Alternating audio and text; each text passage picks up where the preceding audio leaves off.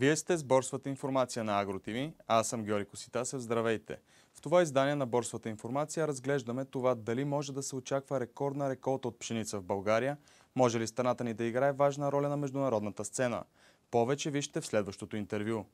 Малко зависи от това каква ще е реколтата като количество в България. Повече зависи от това каква ще е цената в световен мащаб тъй като дори години, когато сме имали ниска реколта или години, когато сме имали голяма, висока реколта в България, ние не сме ценообразуващ фактор, дори и в нашия черноморски басейн, тъй като сме относително малък производител. Цените ще бъдат повлияни не от количеството произведена продукция, до някъде не и от нейното качество, а най-вече от цените на международните борсови пазари за зърно.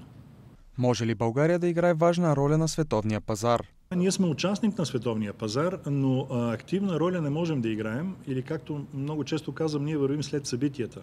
След като се формира цената по световните борси в Штатите, в Франция, в Германия, след като излезе рекордното производство миналата година на Русия и Украина, някъде над 80-90 милиона тона, Естествено, ние с нашите 5 милиона тона не можем да бъдем фактор, който да определя цената и да влияем на тези пазари. Българските зърнопроизводители да са живи и здрави полагат усилия, произвеждат добро количество, всяка година все по-добро качество и вече е въпрос на конкурентни способности на българските търговци, когато излезат на международното поле и се сблъскат с конкуренцията на търговците от цял свят, да успеят добре да продадат българската пшеница, естествено да има печалба и за тях доколко се влияят цените на вътрешния ни пазар от тези на големите борси. Изцяло. Дори е, сме имали такива парадоксални случаи, когато ние излезем с много добра реколта.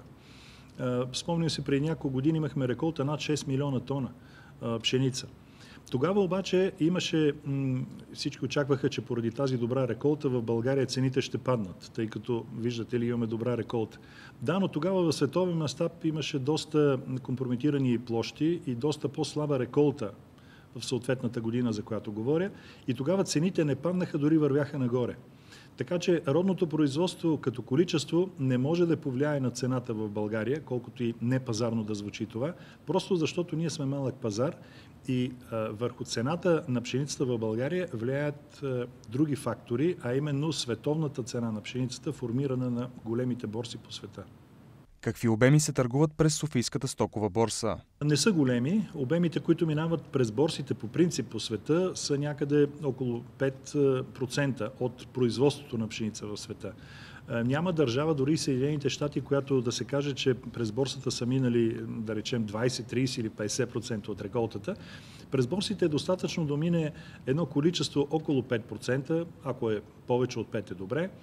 Но важното е останалите 95% от пшеницата да се търгува по борсови цени. Защото това е ролята на борсата да формира цена на база на търсене и предлагане, евентуално и на сключени сделки, и да информира обществеността каква е цената. След това всички да се повлияят е, от тази информация и сделките, които се сключват, естествено извън борсата, не е нужно всичко да се сключва на борсата, да се сключва по пазарни цени, по истински пазарни цени, формирани на борсов принцип. Така е в цял свят, така и в Америка, така и в България. Това беше всичко от борсовата информация за днес. Останете с нашата програма.